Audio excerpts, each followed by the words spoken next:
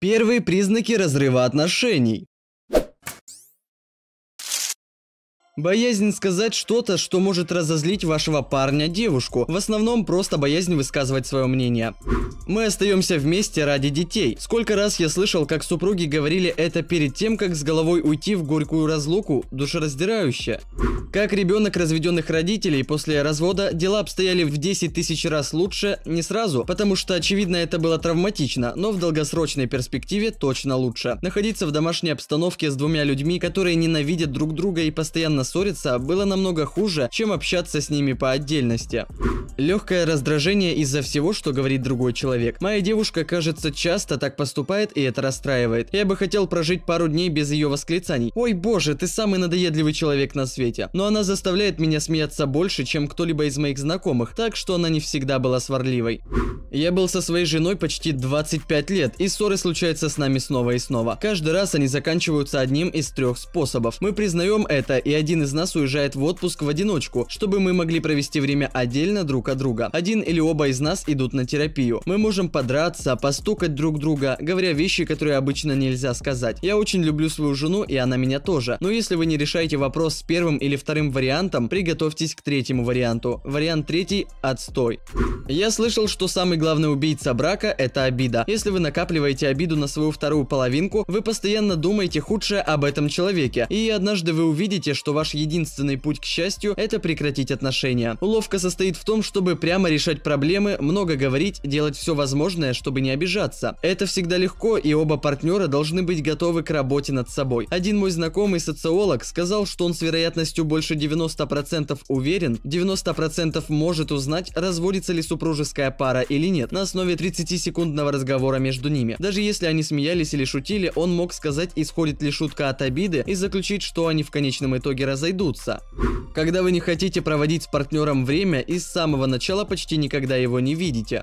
Весь этот тред заставляет меня переживать о своих отношениях. Реальность такова, что даже действительно крепкие и позитивные отношения могут иметь множество проблем, описанных в этой ветке. Однако, когда вы оба влюблены, вы прорабатываете конфликты и тяжелые эпизоды жизни. И если вы оба можете взглянуть на свои отношения и сказать «Да, в целом я очень счастлив», это обычно знак того, что вы в состоянии преодолеть эти проблемы, которые для нелюбящей друг друга пары будут сигнализировать о надвигающемся разрыве. Когда даже разговаривать с партнером кажется тяжелой работой. Не делать что-то вместе для удовольствия или отдыха. Конечно, иметь отдельное хобби это нормально. Может быть, один занимается книжными клубами, а другой занимается садоводством, и они занимаются этим отдельно. Но когда вы абсолютно ничего не делаете вместе, кроме вещей, которые являются обязанностями или работой, отношения идут коту под хвост. Мой партнер говорит, что именно поэтому он знал, что его брак с бывшей был обречен. Она никогда не хотела заниматься с ним чем-либо, даже делами, которые ей нравились, или по крайней мере не были противными. Она также никогда не просила его присоединиться к ней, чтобы заняться чем-то вместе, за исключением семейных обязанностей. Не говорить о проблемах и позволять им накапливаться внутри. Когда вы думаете, что вы просто такой, хотя никогда не были таким в прошлом. Пример. Я думаю, что я просто придирчивый и чрезмерно критичный человек, хотя раньше никогда в моей жизни этого не было. Когда вы в конце концов расстаетесь, вы понимаете, что отношения потребовали от вас определенных изменений, и это заставило вас меньше нравиться себе. Вы можете свободно быть тем, кем вы являетесь на самом деле и кем хотите быть. Взгляды, которые они стреляют друг в друга на улице или на публичном мероприятии. Я видел, как две пары обменивались взглядами через стол и всю комнату. Чистая ненависть.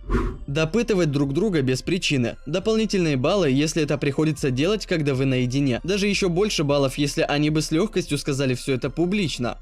Когда вы все больше и больше боитесь рассказывать другому человеку, что вы делали, пока его не было.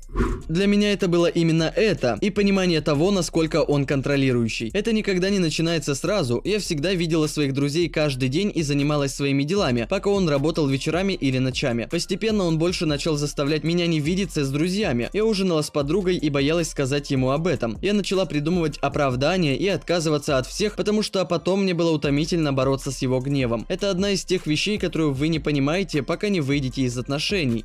Если перефразировать работу Брене Браун, это серия тихих, но растущих предательств. Это мелочи, которые складываются как сложные проценты. Это не что-то большее, как обман. Это такие вещи, как игнорирование чувств другого, когда вы думаете, что ваши более важны, или преуменьшение беспокойства. Изменено. Я говорю о предательстве естественности, о безразличии, о том, чтобы отпустить связь, а не желании тратить время и усилия на отношения. Если бы мне пришлось выбирать форму предательства, которая чаще всего возникла в моих исследованиях, это было самым опасным с точки зрения разрушения доверительной связи, я бы сказал разъединения. Когда вы предпочитаете проводить большую часть времени не с ними, я люблю проводить время с женой. Вот почему она мой лучший друг, потому что именно ей я хотел бы позвонить, чтобы пообщаться. Я не хочу, чтобы люди неправильно меня понимали. Время, проведенное отдельно, это здорово, абсолютно нормально и очень важно. Но я знаю пары, которые могут быть просто как соседи по комнате, и я не знаю, насколько они счастливы вместе, когда они по сути никогда не бывают вместе. Постоянная критика, никакой привязанности, воздержание от близости, манера никогда не признавать свои ошибки и постоянно обижаться на другого человека.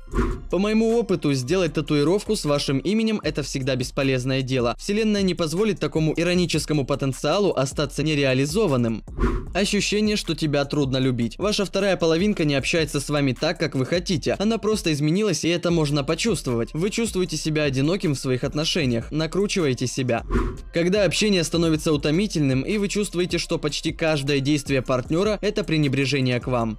Игнорирование проблем вместо того, чтобы говорить о них.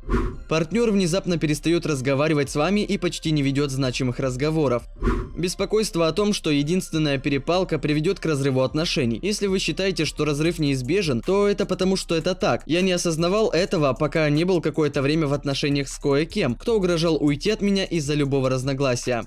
Внезапные изменения в поведении, особенно когда им нет разумного объяснения. Например, раньше партнер очень хорошо отвечал на текстовые сообщения, но внезапно начинает тратить часы на ответы на простые сообщения. Это огромный сигнал. По моему опыту, это всегда верный признак того, что он, она, разорвал с вами отношения и отвечает, будто это для него как бремя или раздражение. Раньше партнеру нравилось оставаться на ночь у вас и гулять с вами часами, но внезапно он успевает встретиться только за ужином или за чашечкой кофе. Опять же, теперь он, она видит общение с вами как бремя и обязанность, а не что-то из своих приоритетов. Раньше партнер редко использовал телефон, когда проводил время с вами, но теперь он переписывается половину времени, когда вы видите друг друга, возможно, чтобы написать другому парню, девушке, который вошел в его или ее жизнь. Партнер не был поклонником выпивки и вечеринок, но теперь любит ходить с одинокими друзьями три раза в неделю. Значит, он, она активно ищет кого-то, кто заменит вас. Раньше партнер всегда поднимал любые вопросы, которые его беспокоили, но теперь настаивает на том, что все в порядке несмотря на очевидное изменение поведения. Считает, что общение с вами о проблемах не требуется, потому что в его, ее голове все уже позади. Раньше партнер любил держаться за руки, обниматься, физический контакт и близость, но внезапно перестал хотеть, чтобы вы к нему прикасались. Когда все это происходит, это почти верный знак, что все кончено или скоро закончится. Показательный пример. Когда я был самой последней девушкой, с которой я встречался, она всегда страстно целовала и обнимала меня всякий раз, когда мы расставались. Она также говорила милые вещи вроде «Я буду думать о тебе до конца дня» или «Мне правда неприятно, что мы не можем побыть друг с другом дольше» и тому подобное. Во время нашей последней прогулки, когда мы расстались, она просто поцеловала меня и сказала «До свидания». Я сразу почувствовал, что это скоро закончится, и я был прав.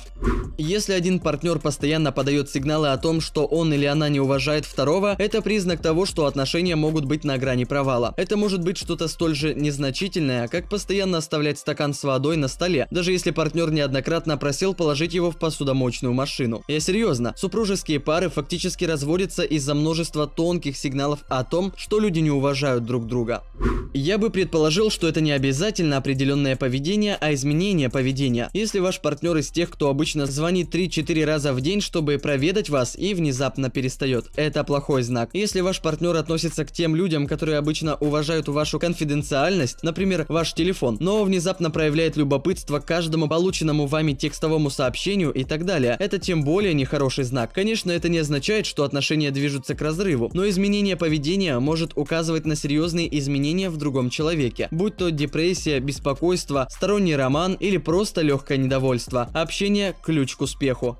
Ну а на этом видео заканчивается, и если видосик тебе понравился, обязательно ставь лайк и подписывайся на канал. Я редко прошу вас набрать определенное количество лайков, и поэтому давайте начнем с малого и попробуем набрать 2000 лайков. Всего-то 2000 лайков, я знаю, вы можете. Также, если хотите, можете нажать на колокольчик, чтобы не пропускать выход следующих роликов. И спасибо каждому, кто оставляет комментарии. Всех крепко обнимаю, ну и как обычно, ссылку на телеграм-канал и чат вы найдете в описании. Пока! А вот, кстати, рандомный комментарий из предыдущего выпуска. Но если ты тоже хочешь попасть в видос, обязательно оставляй любой комментарий. И, возможно, именно ты попадешь в следующий выпуск. Удачи!